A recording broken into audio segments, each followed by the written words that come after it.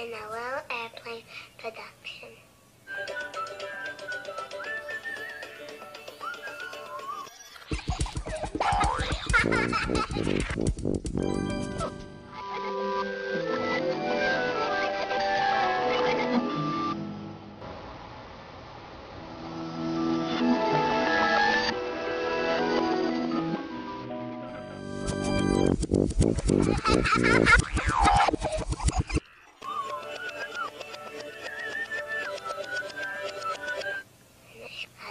Yep, I will, whenever.